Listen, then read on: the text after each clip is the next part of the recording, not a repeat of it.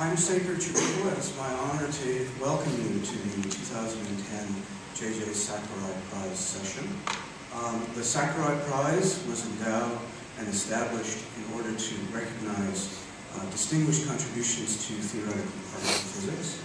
And this year's recipients certainly uh, typify that criterion. Uh, the subject of this year's award is the, is the discovery of the mechanism for the consistent generation of vector boson masses in relativistic quantum field theory. Hey, Jen, Um, that the seats next discovery Thanks. is really the cornerstone of the standard model, and it allows for the consistent generation of W and Z boson masses and for electroweak symmetry breaking, the investigation of the dynamics of which is the primary scientific mission for the Large Hadron Collider.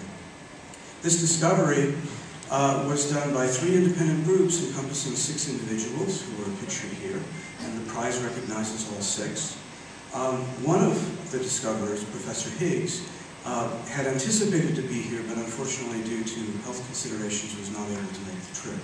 But we're thrilled that five of uh, the discoverers are here with us today. And so, with no further ado, it's my pleasure to introduce uh, Professor Francois Englert of the Université Libre de Bruxelles to tell us his discovery. Professor Englert.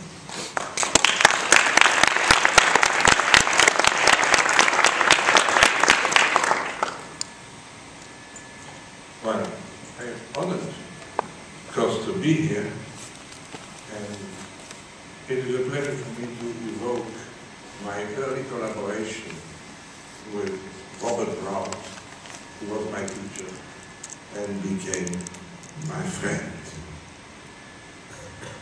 Our discovery of the mechanism giving mass to the gauge vector boson is intimately linked to the history of our collaboration.